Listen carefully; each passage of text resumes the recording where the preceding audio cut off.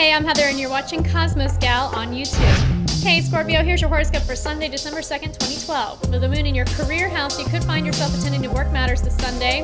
Keeping your professional life out of your personal life may be challenging at this time as well. Thanks for tuning in. I'll see you tomorrow.